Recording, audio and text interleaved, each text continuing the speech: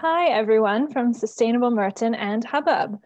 We are so excited that you are interested in getting involved in our Arts Trail competition to celebrate the upcoming Recycling on the Go campaign called Wimbledon in the Loop. My name is Rachel, and I am the Community Champions Project Manager for Sustainable Merton. So first things first, what is Wimbledon in the Loop? Well, Sustainable Merton has teamed up with award-winning charity Hubbub, Merton Council, and Love, Love Wimbledon to make recycling easy and fun while you're out and about on the go in Wimbledon. Launching in May 2021, Wimbledon in the Loop is funded by Evian and will introduce colorful new recycling bins to the streets of Wimbledon.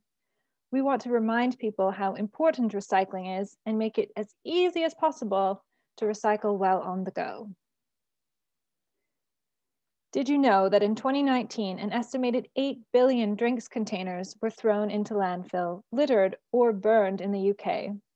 So to put that into some context, it's 250 per second or 126 for every single person across the year.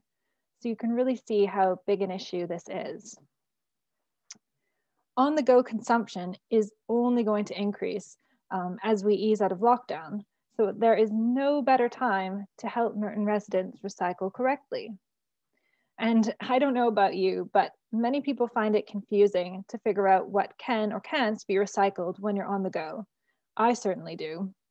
So the goal of this project is to make on-the-go recycling as easy as possible in order to save plastic bottles and cans from going to waste. So as I mentioned, to make recycling simple, Wimbledon in the Loop is introducing a colorful network of bins throughout Wimbledon town center. So each yellow dot on this map corresponds to um, the first wave of new bins that are going to be installed, with more coming throughout the summer.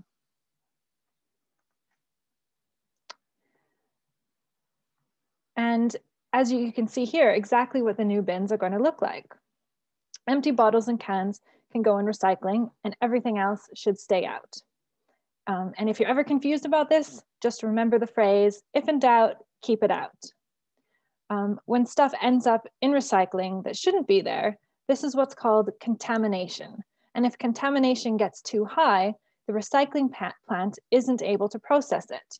And that's why it's really important that only those items that can be recycled end up in the recycling bin.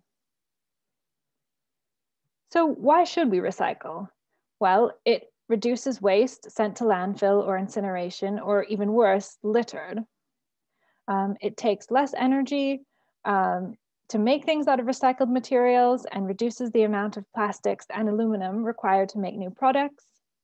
And it supports the circular economy, minimizing the amount of virgin resources we have to take from our planet. And of course, when we recycle, we feel good about it too.